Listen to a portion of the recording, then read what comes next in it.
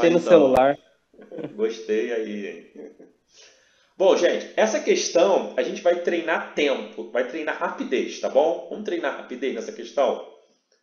Se você sentir dificuldade, vocês falam, tá? Mas a gente vai treinar rapidez. Uma mola ideal está presa à parede e apoiada sobre um plano inclinado. Quando um bloco de massa de 10 kg é preso à extremidade dessa mola, ela sofre uma distensão de 20 cm, conforme o desenho. Considerando que o módulo da aceleração da gravidade vale 10 metros por segundo ao quadrado e desprezando qualquer tipo de atrito, não tem atrito, qual o valor da constante elástica? Quais são as forças principais aí que vão ajudar a gente a resolver esse trabalho? Quem é aí que vai? Quais são as forças principais que vão ajudar a gente a resolver esse exercício?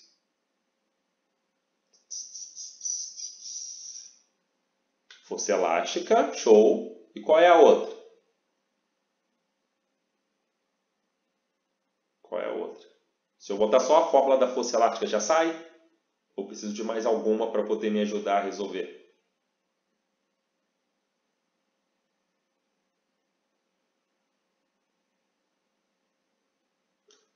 Peso. É, show, peso, tá? Isso aí.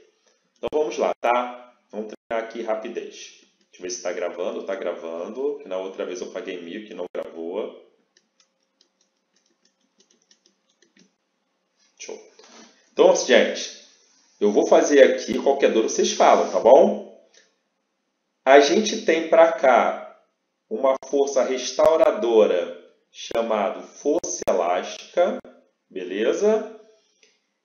A gente tem aqui a força normal e a gente tem aqui a força peso. Essa força peso ela é decomposta em FY, desculpa, PY e PX. Show? Se a gente olhar nesse eixo aqui da normal, a gente pode falar que o módulo da normal é igual ao módulo do PY, que é uma componente da força peso. E isso não vai ajudar a gente a resolver a questão. O que, que vai resolver, ajudar a gente a resolver a questão? É olhar aqui as forças que estão paralelas ao plano. Uma puxando o bloco para ficar descendo, olha o que o Paranaguá fala errado, descendo, e a outra força elástica. Nesse momento aqui, eu posso falar que o módulo da componente Px é igual ao módulo da força elástica. Tá? Ah, o bloco está parado, a resultante são, é igual a zero. Px é igual a força elástica? Px é igual a força elástica? Não. O módulo do Px é igual ao módulo da força elástica. Beleza? Elas não são iguais, não. Por que elas não são iguais? Porque elas têm sentidos opostos. Tá? Elas têm valores iguais. Então, para poder facilitar nosso trabalho, quem é Px? é o peso vezes o seno do ângulo do plano. Tá? Esse ângulo aqui, que vale 30. Quem é força elástica? Kx. Quem é peso? É massa vezes gravidade. 10 vezes 10, 100. Quem é seno de 30? Meio. Quem é K? É o que a gente quer descobrir. E quem é X? é o 20 centímetros passado para metro, que é igual a 0,2. Tá? 100 vezes meio vai dar 50, é igual a K vezes 0,2, passa 0,2 para o outro lado, vai ficar 50 dividido por 0,2, multiplica por 10 em cima, multiplica por 10 embaixo, eu vou ter 500 dividido por 2, que é igual a 250. Bom, 250, força está em Newton, distância está em metro, Newton metro, resposta letra D. Bem tranquilinha, bem de boa, tá? Foquei aqui mostrar para vocês algumas definições teóricas que geralmente a gente dar uma bugada, tá? Lembrei vocês que, poxa, normal não é igual PY. O a módulo da normal, o valor da normal é igual ao valor do PY, tá? Por que elas não são iguais? Porque elas têm sentidos opostos. Vetores, para serem iguais, precisam ter mesmo sentido também. Então, nesse caso aqui de normal e PY e PX e força elástica, eles têm módulos iguais. Então, gente, alguma dúvida geral em relação a isso? Tranquilo? Alguma coisa, alguma pergunta em relação a esse assunto?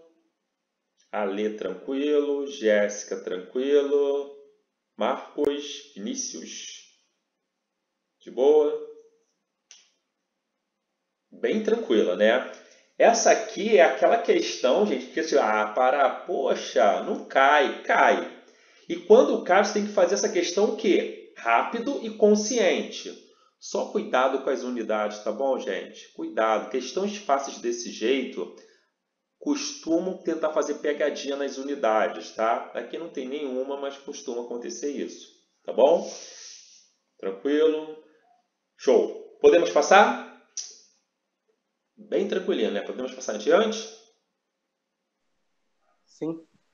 Boremos. Próxima aqui tem a ver com é, tem a ver com calorimetria. Eu quero fazer uma brincadeira com alguém. É, a Jéssica não está com o microfone, não sei se tem o Marcos e a Ale. Eu quero fazer uma brincadeira com alguém que esteja com o microfone. Quem que topa a brincadeira? Quem é que topa fazer a brincadeira? Que tenha microfone. Pode ser tu? Ale, leia a questão para mim. A Anali, Análise lava sua garrafa térmica. Show, parou, tá bom. É, Marcos, leia a questão para mim. Anelise lava sua garrafa térmica. Tá bom, parou, chega. Você, nenhum de vocês dois caiu numa pegadinha que muita gente em sala de aula cai. Sabe que muita gente lê essa questão? Anelise ou, ou análise, não importa, o pessoal bota leva a sua garrafa térmica. O pessoal lê leva a sua garrafa térmica com água filtrada.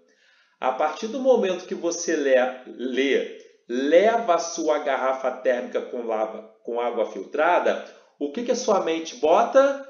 que dentro da garrafa térmica tem água. Mas nenhum de vocês dois caíram na pegadinha. Vocês leram o quê? Lava a sua garrafa. Aí eu pergunto para vocês: dentro da garrafa tem água?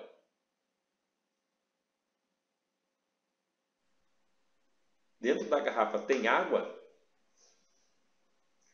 Então, Annelise lava a sua garrafa térmica com água filtrada a temperatura de 20 graus Celsius, tá?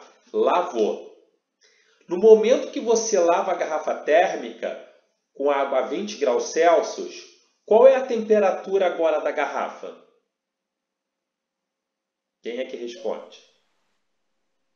Você lavou, né? Elas ficaram em contato e vão ter o equilíbrio térmico.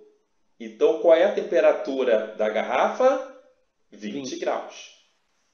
Pode falar, tá, Marcos? Pode falar. Eu vi, tô vendo que o microfone está indo. Se quiser, pode falar. Beleza.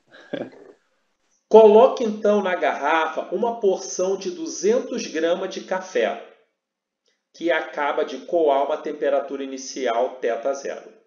Considerando a capacidade da garrafa térmica 100 caloria por grau Celsius e o calor específico do café e por, após algum tempo a temperatura de equilíbrio da garrafa e do café atinge 60 graus Celsius, podemos, a, a, podemos afirmar que o valor θ0 em graus Celsius vale. Então vamos lá. O que, que eu vou montar aqui, gente? Eu vou montar a nossa linha dos acontecimentos, que é a linhazinha lá da plataforma, tá? Vou montar aqui a linha dos acontecimentos. Eu tenho duas situações eu tenho a garrafa térmica. Eu tenho uma garrafa que tem uma capacidade térmica de 100 cal por grau Celsius e depois e ela está com uma temperatura inicial de 20 graus Celsius, porque foi a temperatura que ela foi lavada aqui com a água filtrada. A gente tem o café, que uma massa de 200 gramas de café, 200 gramas de café, a uma temperatura inicial de θ zero, tá? Para facilitar aqui, eu vou chamar θ zero de T, tá bom? Só para facilitar. E ele deu aqui para a gente o calor específico do café, 1 cal grau Celsius, que é igual ao calor específico da água. E ele falou que após algum tempo, esse conjunto atinge uma temperatura de equilíbrio de 60 graus Celsius. Aí ele quer saber quanto que vale essa temperatura inicial do café. E aí, tranquilo? Uma questão tranquila? Por incrível que pareça, gente, eu botei essa questão só pensando, cara, será que eles errariam a interpretação dessa questão? Será que não? Eu quero saber até o momento, de boa. Até o momento está de boa. Bom, ele não deu a massa da garrafa. Como é que a gente vai calcular? Por quê? Vocês sabem que o bisuzinho do Pará é esquece o café, a garrafa térmica vai chegar a 60, recebendo um calor Q1. Ao bisuzinho do Pará, esquece agora a garrafa, o café vai chegar a uma temperatura de 60, perdendo um calor Q2. Tá? Mas como é que eu vou calcular Q1? Porque quando tem variação de temperatura, eu lembro, quando tem variação de temperatura, eu lembro do que macete, não é? Que macete. Mas ele não me deu a massa da garrafa. Como é que eu vou calcular Q1 já que eu não tenho a massa da garrafa? Como é que eu vou calcular Q1 se eu não tenho a massa da garrafa? Como é que eu calculo Q1? não tenho a massa da garrafa. Como é que eu vou calcular esse Q1? Alguém pode me ajudar?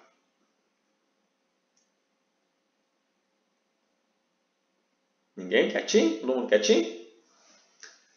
Através da capacidade térmica, tá? A gente sabe que capacidade térmica é a quantidade de calor dividido pela variação de temperatura. Então, meu Q1 vai ser igual a capacidade térmica vezes variação de temperatura. E quem será o meu Q2? Quem será meu Q2? Aí sim, eu vou usar que macete. Eu vou aqui que macete. Entenderam, gente? Alguém ficou com alguma dúvida aí? De boa? E agora eu vou falar que Q1 mais Q2 vai ser igual a zero depois, né? Então vamos calcular cada um primeiro. Vamos calcular o nosso Q1 primeiro, tá? Vamos calcular o nosso Q1. Vai ser a capacidade térmica, que vale 100, vezes a variação de temperatura, que vale 60 menos 20, 40. Então, eu vou ter aqui 4.000 cálculos. E agora, para resolver o Q2, eu vou ter a massa que ele me deu, 200 gramas, vou ter o calor específico 1 e vou ter a variação de temperatura, que é sempre final menos inicial, 60 menos T. Tá? Então, agora eu vou falar que Q1 mais Q2 é igual a zero. Então, Q1 mais Q2 igual a zero. Quem é Q1? vai dar 4 mil. Quem é Q2? Vai ser 200 que multiplica 60 menos T. igual a zero. Você pode fazer distributiva ou você pode simplesmente passar o 4.000 para o outro lado, tá? Vou fazer desse jeito aqui. Vai dar 60 menos t igual a menos 4.000. Corta 0, corta 0, corta 0, corta 0, corta 2 dá 1, corta 2 dá menos 20.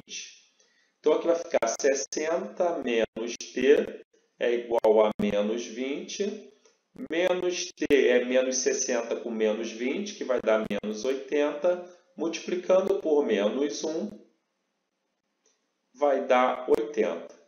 Então, a temperatura tá, que a gente estava procurando é igual a 80 graus Celsius. Resposta, letra C. E aí, o que vocês acharam? Fala comigo, Alê. Fala comigo, Marcos. Fala comigo, Jéssica. Qual foi a dificuldade? Não teve dificuldade? Essa aí eu achei boa. Eu só não sei lembrar dessa forma, dessa estratégia na capacidade térmica. Show! Muito bom. Jéssica, Zero Pane? Com o bizu da timeline fica de boa. Beleza. Então, gente, agora eu vou fazer uma pergunta aqui. Quando você usa essa garrafa térmica e bota o café, essa garrafa térmica está se comportando como um quê? Alguém me responde. Essa garrafa térmica que eu botei o café dentro, ela está se comportando como se fosse um quê? Quem lembra o nome? Calorímetro.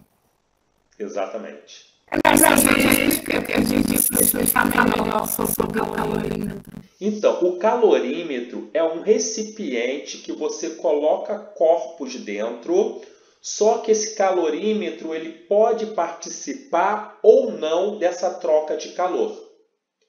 Quando fala que o calorímetro tem uma capacidade térmica desprezível, significa que ele não participa da troca de calor. Agora, quando fala, quando a pessoa dá para você o valor da capacidade térmica, significa que ele participa da troca de calor. Exemplo, tá? Vamos supor aqui que eu tenha café, leite e garrafa térmica. Tá? Se você tiver café e leite, de um lado da timeline vai estar o café do outro lado da timeline vai estar o leite. Agora a garrafa térmica. Se ela tiver capacidade térmica desprezível, ela não entra na troca de calor. Tá? Então fica só o café e o leite. Agora, se ele der a capacidade térmica da garrafa, aí a garrafa também entra na troca de calor tá? Sem capacidade térmica para o calorímetro, ele não entra. Dando capacidade térmica para o calorímetro, ele entra. E aí, para você calcular o calor do calorímetro, você usa a fórmula da capacidade térmica que a gente usou aqui. Ficou tranquilo? Conseguiu? Era essa dúvida? Deu para clarear e reforçar mais do que você já sabia? Show de bola, tá? Então é esse que é o visu, tá bom? Bom, vamos partir agora para a terceira questão. Vamos partir para a terceira. Então vamos partir para a terceira. A terceira é uma de Física 3, tá? Essa de Física 3, repare que as três primeiras questões eu estou botando tranquilas, tá? Ah, as outras têm que ser mais difíceis? Não sei, de repente vão achar tranquilas também, tá? é muito relativo esse negócio de questão difícil ou questão fácil, né? Mas as três primeiras eu botei questões que eu considerei mais tranquilas. A terceira questão vai ser uma questão envolvendo aí leis de Newton e energia de consumo, tá? Olha o que fala a questão. Um forno elétrico ligado a uma tensão de 120 volts, perdão, é percorrido por uma corrente de 15 amperes durante 6 minutos. uma lâmpada comum de 60 watts ligada na mesma tensão de 120 consumiria a mesma energia que o forno no intervalo de tempo de que horas? Quantidade de horas, tá?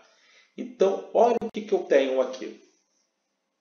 Eu tenho o forno, tá? Que vai ter uma quantidade de energia consumida. Como é que se calcula energia consumida? Potência é energia sobre o tempo. A potência é o quadrado sobre R. Como a gente ri com PRI ao quadrado? Para é um cara engraçado. Pio. Então, você pode dizer que potência é energia sobre o tempo, logo, energia é potência vezes o tempo. Aí tu lembra da EPAT, não é? Você pode lembrar da EPAT. Show? Então vamos lá calcular essa energia aqui do forno. Energia vai ser igual a potência. Ele não me deu a potência do forno, mas ele me deu a DTP e a corrente. Potência é energia sobre o tempo, potência ao quadrado sobre R, com 1 a gente ri, com P ri ao quadrado, para é um cara engraçado, π. Então aqui tem o π. Tá? Então, essa energia do forno vai ser a corrente, que vale 15, a DTP, que vale 120, vezes o tempo. Galera, é patricinha, gostei. Vezes o tempo. Muita gente vai fazer o seguinte: poxa, eu vou passar esse tempo para horas, tá? Pode passar, mas eu acho desnecessário nesse momento tá? Porque eu não vou igualar as duas fórmulas? Vou. Então, se eu deixar aqui em minuto, quando eu igualar com a lâmpada, eu também vou achar em minutos. Será que não vai ficar mais fácil? Olha só. Tudo isso porque eu vou igualar fórmulas. Então, eu vou deixar aqui 6, tá bom? E da lâmpada? Agora vamos fazer da lâmpada. Repare que eu não calculei. Por quê? Eu vou igualar as fórmulas. Porque elas têm que ter a mesma energia. Então, a energia aqui do forno e agora a energia da lâmpada, que vai ser também potência vezes o tempo. Que vai ser potência, ele já me deu a potência, 60, e o tempo eu vou calcular. Como ele está querendo saber que as duas energias forem iguais, eu vou falar que a energia do forno é igual à energia da lâmpada. Eu vou dizer que 15 vezes 120, eu botei aqui, está errado, né? Botei 1.200 aqui. 15 vezes 120 vezes 6 vai ser igual a 60 vezes tempo. Esse 0 corta com esse 0, esse 6 corta com esse 6.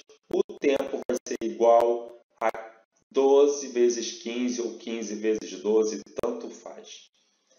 E se você multiplicar 15 vezes 12, se você multiplicar 15 vezes 12, isso vai dar 180 minutos. Como ele quer saber em horas, eu divido por 60 para passar minuto para hora. Isso vai me dar 3 horas. Bom, eu já poderia ter passado direto aqui, era só dividir por 60? Poderia, tá? Ao invés de deixar 6, eu botaria 6 sobre 60. Só estou mostrando para vocês uma outra visão, que quando você iguala fórmulas, se o tempo estava em minuto, você acha em minutos do outro lado também. E aí? 3 horas é a resposta que está na letra C. Dificuldade? Tranquila? Estou deixando a mente de vocês bem tranquilinha, né? Tá chegando a prova, estou bonzinho. mas são conceitos que vocês não podem esquecer, tá? Essa aí foi boa que deu para simplificar bastante quando igualou. Exato. Se tivesse convertido, talvez não daria para ficar tão direto assim fácil. Você teria que fazer umas continhas do outro lado, ficaria de repente perdendo um pouquinho de tempo. Sim. Tranquilo? Jéssica, também de boa? A Jéssica, eu acho que enquanto fico corrigindo, ela já fica fazendo lá, correndo. Quem é que faz isso aí? Vocês prestam atenção na explicação ou vocês começam a fazer comigo lendo para poder dar tempo de ver se bateu o resultado? Pensa que eu não sei, né? Eu faria a mesma coisa. Mas essas três questões, se fosse uma, uma prova com três questões para a gente testar tempo, vocês teriam conseguido fazer bem rápido? Vocês teriam conseguido fazer essas questões num tempo aí de menos de 10 minutos? As três questões? Olha o desafio que eu dei agora, hein? São questões que. Show de bola. São questões que às vezes é bom você testar a velocidade, porque se cair questões fáceis, dá para matar. Mas pelo amor de Deus, eu não quero que você saia correndo na prova, tá? Não erre questões por falta de atenção, tá? Então, é só um treinamento para você acostumar seu cérebro, tá? Não presta atenção na pergunta. O que ele quer saber mesmo? O tempo. Eu achei o tempo, achei o tempo. Ele quer o tempo em horas. Achei o tempo em horas, achei o tempo em horas. Então tá certo. Show? Vamos partir para a próxima? A nossa quarta questão. A nossa quarta questão, a gente volta para quê? Para aplicações de leis de Newton, tá? Então, nossa quarta questão, a gente volta para aplicações das leis de Newton. Beleza? Qual que é legalzinha? Tu já fez essa? Ah, não tem graça. então vamos lá. Jéssica também já fez essa. Marco já fez. Essa eu não cheguei a fazer ainda não. Jéssica já fez. Jéssica tá fazendo agora, cara.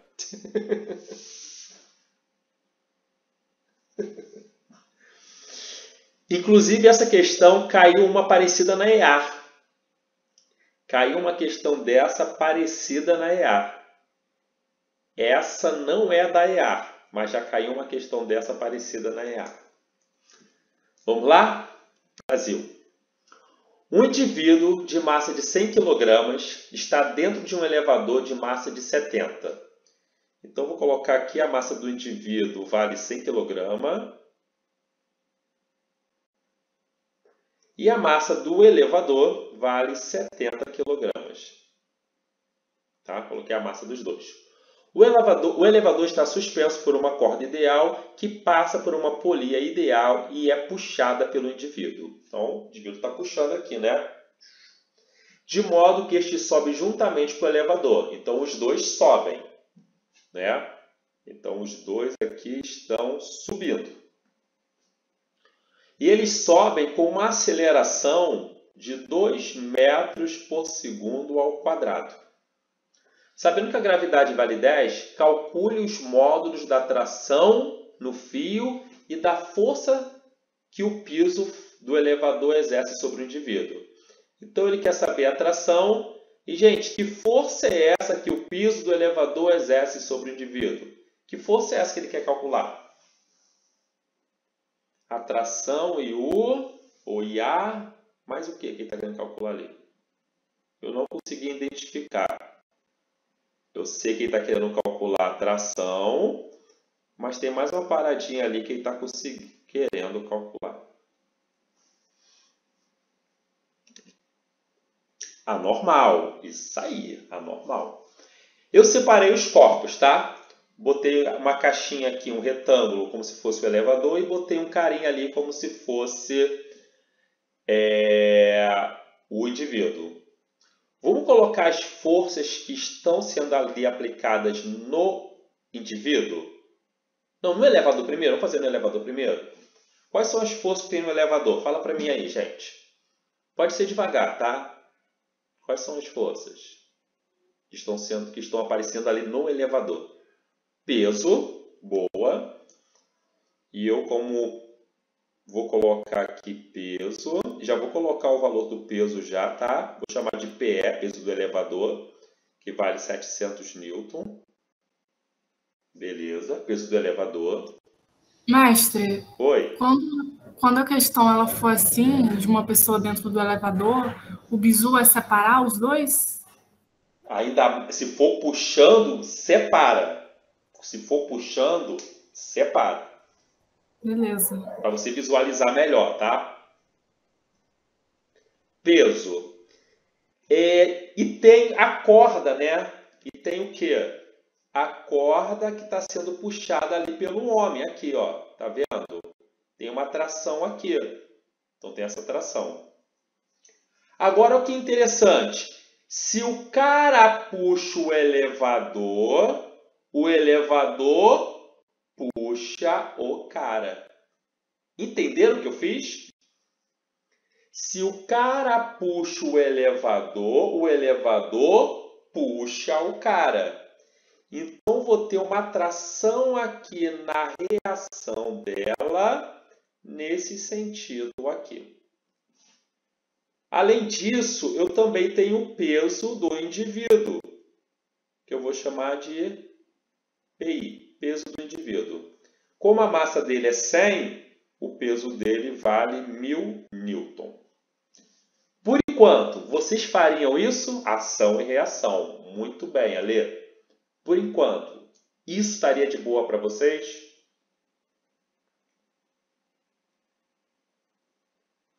Tem mais alguma força? Ou tá bom, acabou, só isso?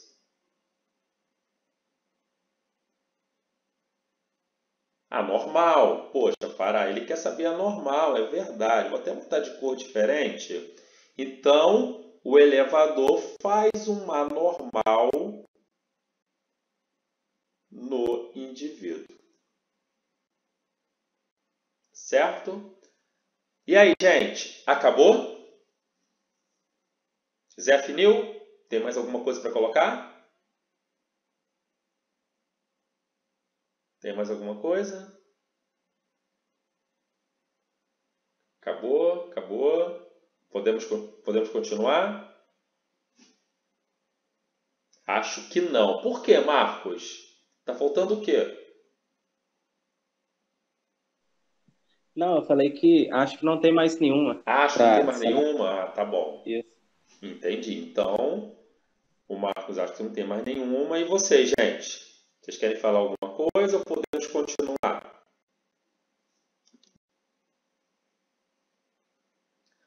Bom, Marcos, aqui, a galera não está falando porque ela está desconfiada e eu acho que está com receio de falar. Mas cuidado com a normal. Porque a tração ela tem ação e reação. A normal também tem ação e reação. Se o elevador empurra o indivíduo para cima, o indivíduo empurra o elevador para baixo. Então, aqui no elevador tem a reação daquela normal. Aí você pode falar assim, mas parar. E o peso? A reação do peso está no centro da Terra. Então, o peso, a reação do peso não entra na conta. Mas a tração, você tem que tomar cuidado com a ação e reação. E a normal, você também tem que tomar um cuidado com ação e reação. Tá? Agora sim, não tem mais nenhuma força para colocar. Tranquilo, gente? Alguém quer falar uma coisa? De boa? Bom, tanto o elevador como o indivíduo, eles estão subindo, tá bom? Os dois estão subindo com uma aceleração de 2 metros por segundo ao quadrado. Os dois estão subindo com uma aceleração de 2 metros por segundo ao quadrado. Então, como é que eu vou montar aqui a equação do elevador? Tudo que está a favor do movimento menos tudo que está contra o movimento tem que ser igual à massa do elevador vezes aceleração. Então, tração menos 700 menos normal é igual à massa do elevador, que é 70, vezes 2. Tração menos normal vai ser igual a 140 mais 700, tá? Passando para o outro lado. Então, igual a 840 tração menos normal igual a 840. Dúvidas aqui? Tranquilo? Agora eu vou montar a mesma equação, mas para o indivíduo, tá bom? Então, ó, tudo que está a favor do movimento, normal mais tração, menos o que está contra o movimento, vai ser igual a massa vezes aceleração. Normal mais tração menos 1000 é igual a massa de 100 vezes aceleração de 2. Então, normal mais tração, posso escrever tração mais normal é igual a 1000 mais 2 vezes 100, 200, 1200. Achei uma equação para normal e uma equação para tração. O que, que eu faço agora? Faço um sistema, tá bom? Posso fazer um sisteminha aqui. Tração menos normal igual a 840. Tração mais normal igual a 1200. Corta a normal. Duas vezes a tração vai ser igual a 2040 tração vai ser igual a 1020 newton. Achei o valor da tração, tá? Ele quer saber a tração primeiro. Então, 1020, 1020. Agora eu vou descobrir a normal. Para descobrir a normal, eu pego uma das duas equações, tá? Vou pegar essa daqui. Tração mais normal igual a 1200. Normal vai ser 1.200 menos atração, que é 1.020. Normal vai ser igual a 180. Normal é o que está. Essas duas respostas estão na letra B, B de Brasil. Boa! Jéssica, matou? Alê, foi, Marcos foi, mataram de boa. Mestre, então sempre quando eu tiver um indivíduo dentro do elevador, eu vou ter normal para cima e normal para baixo. Sempre, sempre, sempre, sempre. Vou colocar isso no meu visu. Show, tá? Porque muitas pessoas esquecem que a normal. Eu poderia ter uma outra coisa no bizu, tá? Sempre que eu estiver separando forças, cuidado com a reação da normal. Porque se um corpo empurra um corpo para cima, esse corpo é empurrado para baixo. E se ele for entrar, fazer alguma equação com esse corpo de baixo, a normal tem que entrar nessa equação. Tá? Geralmente a gente esquece porque o corpo está apoiado no solo. Aí o solo faz uma normal para cima só que o solo recebe uma normal para baixo. Mas a gente não usa o solo para fazer conta nenhuma. Então a gente caga para a normal que está no solo. Mas quando tem um bloco em cima do outro, essa situação do elevador, tá? Então você tem que sempre tomar cuidado em procurar cadê a normal. Entendeu?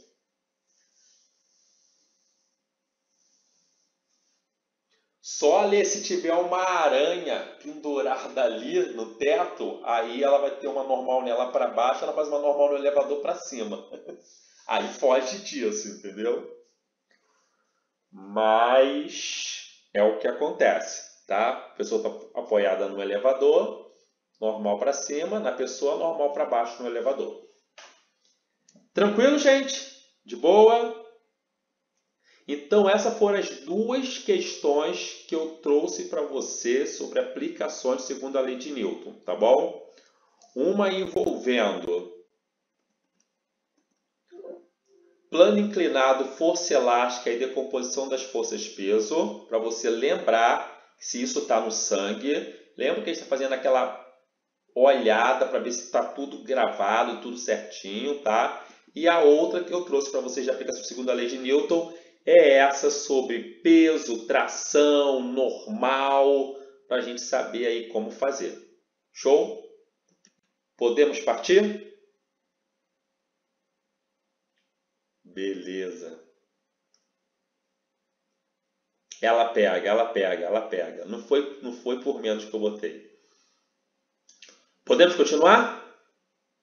A próxima questão volta novamente para Física 2, tá? A próxima questão... A Jéssica querendo que eu passe logo. Passa logo, passa logo, para, passa logo, para. A próxima questão, ela envolve novamente calorimetria, tá? Ela envolve calorimetria. Tranquilo?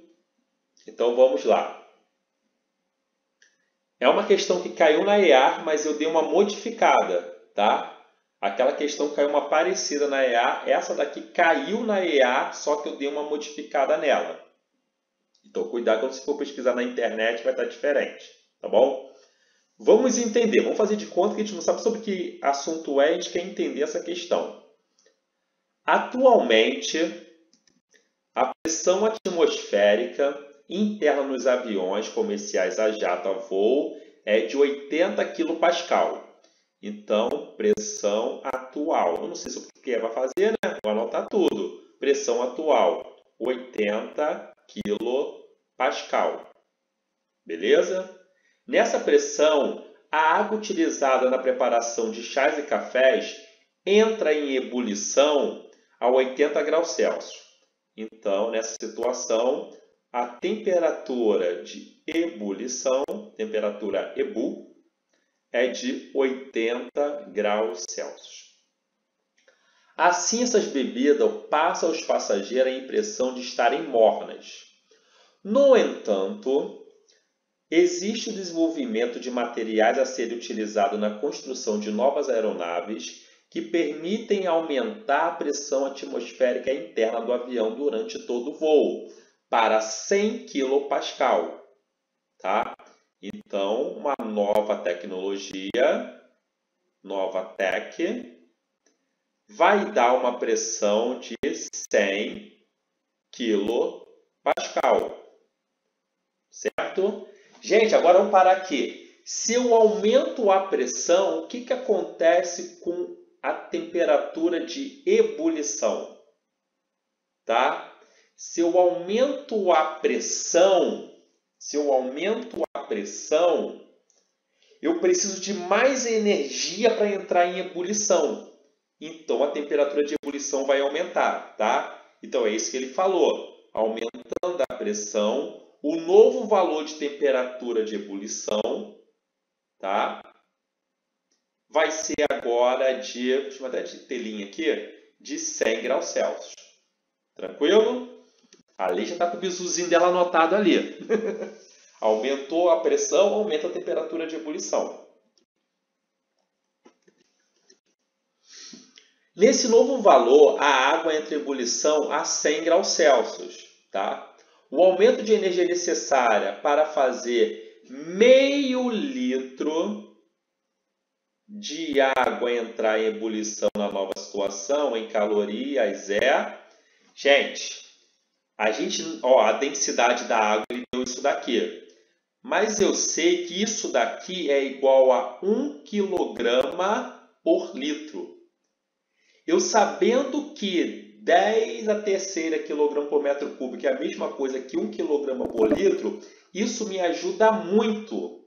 Porque quando ele fala que tem meio litro, quando ele fala que o volume é de meio litro, eu já sei que a massa vai ser de meio quilograma, tá? Eu não preciso ficar fazendo conta. Ele quer saber, gente, o aumento dessa energia. Então ele quer saber de quanto vai variar a energia. Olha como é que eu vou fazer. Eu não tenho que macete? Eu não tenho que macete? Essa variação de energia vai ser em virtude da variação de temperatura, tá? Então essa variação de energia, de calor, vai ser essa variação de temperatura. Então a variação de energia vai ser igual a massa. Eu vou botar 0,5? Não, porque olha só, a constante é nossa amiga. Se o calor específico é 1, eu tenho que passar a massa para grama. Vai dar 500 gramas. O calor específico dá 1. E essa temperatura, que era uma situação e passou a ser outra situação, essa temperatura variou de 20 graus Celsius. Então, essa variação de energia vai ser igual a 2 vezes 5, 10, 0, 0, 0. 10 mil calorias. Resposta que está na letra A. Eu, com um que macete, eu já matei a questão. Dúvidas? Vou explicar. Ale, olha só. A água, tá? A água. Você tem que gravar essas três densidades da água, tá? A água pode ter a densidade de 1 grama por centímetro cúbico. A água, aqui não está no sistema internacional, tá? A água também tem a densidade de 10 a terceira quilograma por metro? Tanto que para passar daqui para cá a gente multiplica por 10 a terceira. Só que a água também pode ter a densidade de 1 quilograma por litro. O que significa dizer 1 quilograma por litro? Significa dizer que a cada 1 quilograma de água eu tenho 1 litro. Tá bom?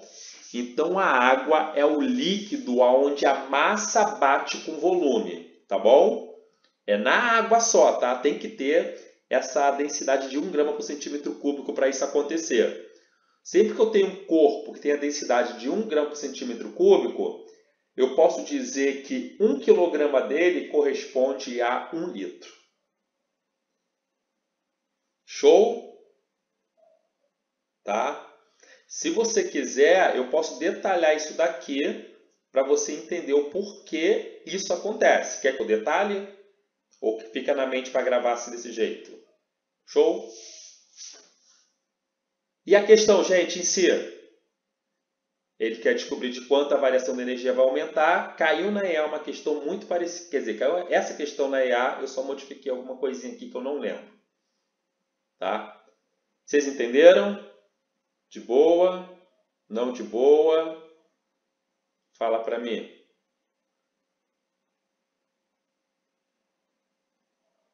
Ale foi, Marco, Jéssica. Tranquilo?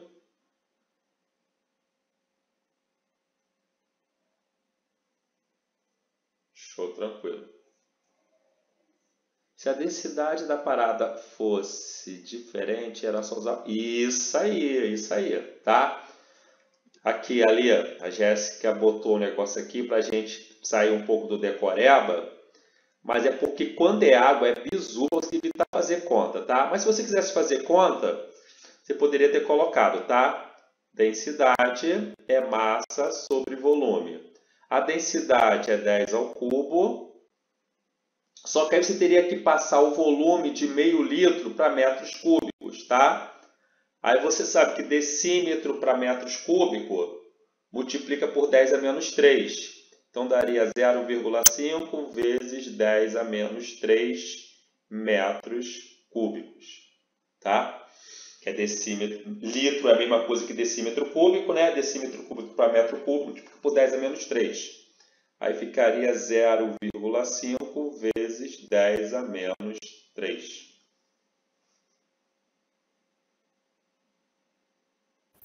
Então, se for água, a massa vai ser igual ao litro. E se for outro, outro líquido, aí eu tenho que jogar na aí fórmula. Aí você tem que jogar na fórmula. Isso aí. E eu botei massa ali, né? Tá errado. Massa não. A massa é o que a gente quer achar. Só para não fazer besteira.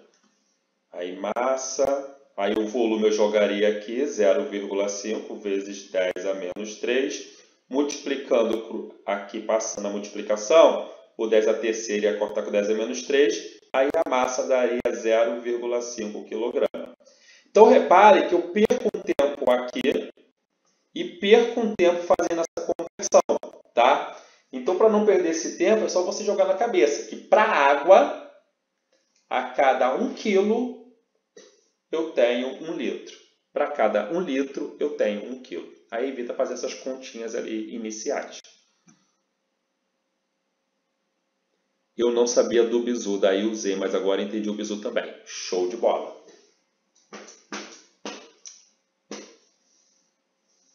Tranquilo, todo mundo? Foi? Podemos passar? Então vamos agora para. É a última questão, gente. Como eu falei com vocês, são aquelas seis questõezinhas para a gente poder brincar, tá? Então eu já quero agradecer, tá? Eu sei que passa rápido. já vai dar aí 8 horas. O vídeo vai cair. Então antes do vídeo cair, vamos ver se a gente consegue fazer essa questão aqui. Passa rápido demais, né? Uma horinha. Vamos ver se a gente consegue fazer essa questão aqui então. Então olha só. Uma bateria fornece uma diferença de potencial constante às extremidades de um fio de tungstênio. O comprimento do fio é L, a área é A e a resistência é R. Qual é, em função de R, o valor da resistência de outro fio de tungstênio submetidos à mesma diferença de potencial, porém com triplo do comprimento e o dobro da área? Qual é a fórmula que eu vou usar? Segundo a lei de Newton. O, o ri porque gosta de rolar, não é? O ri porque gosta de rolar. Então, meu R linha, o que, que vai acontecer? Ele falou que o comprimento vai triplicar e que a área vai dobrar. Resistência e comprimento são diretamente proporcionais. Se o L triplica, a resistência triplica. Resistência e área são inversamente proporcionais. Se a área dobra, a resistência divide por 2. Então, o R', que é a nova resistência, vai ser 3R sobre 2. Resposta que está na letra C. Só para a gente lembrar aí da segunda lei de Ohm. Foi? Dúvidas? Tranquilo? Então, galerinha, uma horinha, sei que passa rápido, mas espero que essa uma hora tenha crescido bastante conhecimento ou pelo menos alguns bizus a mais na cabeça de vocês, tá bom? Então, Jéssica, muito obrigado. Marcos, muito obrigado. E Ale, muito obrigado, tá? Vou mandar a gravação e essa, esses slides no grupo, tá? Que aí qualquer coisa vocês podem rever e fazer novamente, tá? Só não esqueçam que eu estou com você até o final da sua preparação. Mac. Tchau, gente. Tchau, tchau. Fiquem bem. Tchau.